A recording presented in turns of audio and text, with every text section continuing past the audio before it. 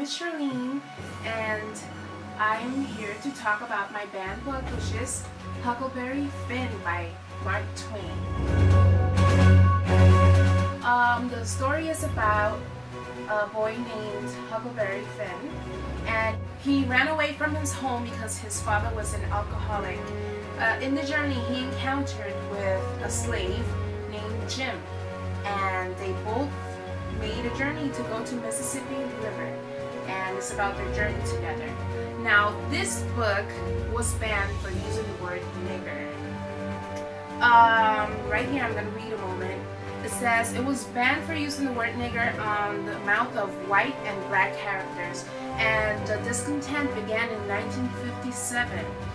Um, in 1969, the school, Miami-Dade Junior College, excised the literary text from its required reading list after Negro students complained it embarrassed them. Now, this book was banned from junior high schools and uh, it could be used for high school, but it was banned also from elementary schools because of the same thing. Need to read a letter of something that someone said.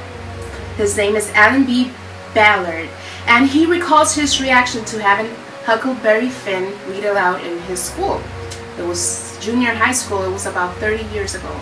He says, I can still recall the anger I felt as my white classmates read aloud the word nigger. In fact, as I write this letter, I am getting angry all over again. I wanted to sink into my seat. Some of the whites snickered, others giggled, I can recall nothing of the literary merits of this work that you term the greatest book of all American novels. I only recall the sense of relief I felt when I would flip ahead a few pages and see the word nigger will not be read that hour.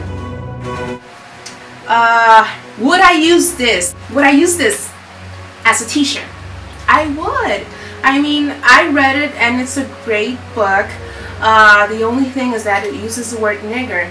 And I believe it's the tone that you put to it because I don't think Mark Twain um, wrote it this way and with the dialect as of, of an African, as the African people for for it to be demeaning. I think that he did it to show about the American culture and what they were living in that time.